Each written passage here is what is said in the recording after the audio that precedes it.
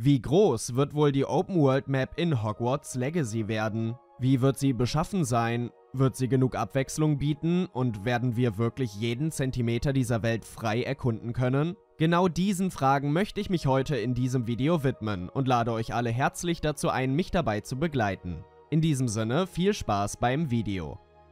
Wie bereits bekannt sein sollte, startet das Spielgeschehen von Hogwarts Legacy, passend zum Namen, auf Hogwarts selbst und bietet uns anfangs die Möglichkeit, wie einst Harry, Ron und Hermine durch die Gänge der Zauberschule zu schlendern, Klassenräume zu besuchen und Geheimgänge zu erkunden. Wer sich mit Hogwarts auskennt, weiß bereits, dass diese Zauberschule allein schon unglaublich weitläufig und umfassend ist. Genug Fläche, um viele Stunden mit dem Entdecken dieses einzigen Ortes zu verbringen. Doch dass es dabei nicht bleiben soll, erklärte der Game Director Alan Tu bereits in einem Interview. Ich zitiere, wenn es um die offene Welt geht, wussten wir einfach, dass es nicht ausreichen würde, aus dem Fenster von Hogwarts zu starren und sich zu fragen, was da draußen ist. Die letzte Frage, die die Fans stellen, lautet, was ist dahinter? Was wird hinter dem verbotenen Wald liegen, hinter Hogsmeade? Und wir hatten einfach das Gefühl, diese Fragen beantworten zu müssen. Dies deutet bereits an, dass sehr viel Wert auf die Welt rund um Hogwarts gelegt wurde. So konnten wir bereits in der State of Play zum Game verschiedene ikonische Orte wie Azkaban oder Hogsmeade betrachten und sahen, wie unser Spielcharakter mitsamt Hippogreif über gigantische Landschaften flog, die ein ungefähres Gefühl dafür geben, was uns Ende des Jahres erwarten wird. Der gigantische Hype, den das Game bereits ausgelöst hat und der von Monat zu Monat immer weiter ansteigt, beruhigt Warner Bros. sehr. Denn nie zuvor hat das Unternehmen ein derart großes Budget für ein einziges Projekt zur Verfügung gestellt, was abermals unterstreicht, dass es sich hier um ein großes Game mit hohem Niveau handelt was sich wohl auch in puncto Open World äußern wird, wenn man bedenkt, dass das Spiel dies als besonderes Feature extra fokussiert bewirbt.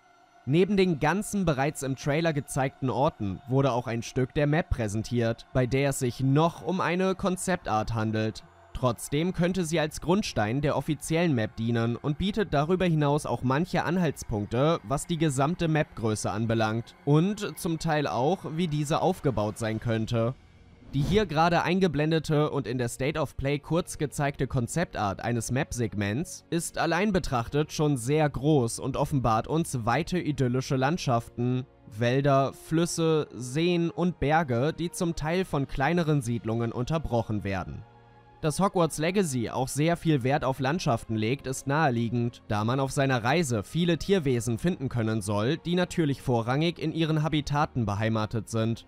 So könnten die gezeigten Berge gute Lebensräume für Drachen und Trolle sein, während sich in den Flüssen und Seen Grindelos und Kelpies ansiedeln. Eine wundervolle Vorstellung, wenn ihr mich fragt. Doch tatsächlich ist dieses Map-Segment nur ein Segment, denn die Zahlen scheinen Sektoren anzuzeigen. Wenn 6-6 eine Ecke der Map wäre und die gegenüberliegende Ecke womöglich 1-1 wäre, würde diese Map gerade mal ein Sechstel der gesamten Game Map abdecken was schätzungsweise 36 Quadratkilometern entsprechen könnte. Jedoch gibt es keinen Beweis dafür, dass das Segment 6-6 wirklich die Ecke der Gesamtkarte darstellt, was wiederum bedeutet, dass sie sogar noch sehr viel größer sein könnte als nur ca. 36 Quadratkilometer. Darüber hinaus zeigt uns die Map auch viele kleine schwarze Symbole, die überall verstreut liegen. Wobei es schwer zu erraten ist, was es damit auf sich hat, da manche von ihnen mitten in Wäldern, andere wiederum in direkter Nähe zu Siedlungen vorzufinden sind.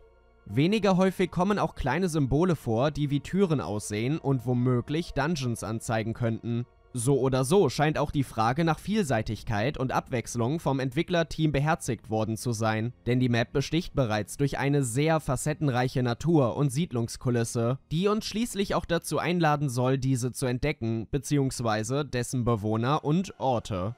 Interessant an dieser Stelle ist vielleicht auch noch die Frage, wie weit auseinanderliegende Orte erreicht werden, wie beispielsweise die Winkelgasse, 300 Meilen südlich von London, oder auch Azkaban, welches sich inmitten der Nordsee befindet. Könnte man wirklich von Hogwarts zur Winkelgasse durchfliegen, ohne irgendeine spieltechnische Begrenzung, müsste die Map unbeschreiblich groß sein. Auch wenn hierfür der Abstand natürlich künstlich verkleinert werden könnte. Wobei der Spielraum hierbei nicht unendlich groß wäre und sich große Reisen auch wie große Reisen anfühlen sollten. So oder so wird uns eine gigantische Open World erwarten, wie wir sie in der Wizarding World noch nie erlebt haben. Und erneut lade ich jeden von euch herzlich dazu ein, mein Let's Play Ende des Jahres mitzuverfolgen, wenn ich durch die Landschaften wandere und euch mit Anekdoten zum Franchise vollquatsche. Es wird der absolute Wahnsinn. In diesem Sinne hoffe ich, das Video hat euch gefallen und wenn dem so ist, hinterlasst mir doch gerne einen Daumen nach oben und auch gerne ein Abo auf meinem Logo, wenn ihr besagtes Let's Play oder andere Videos zu Wizarding World nicht verpassen wollt. Über eure Meinungen in Form eines Kommentars würde ich mich auch sehr freuen. Einen schönen Tag euch allen und bis zum nächsten Mal. Ciao Leute.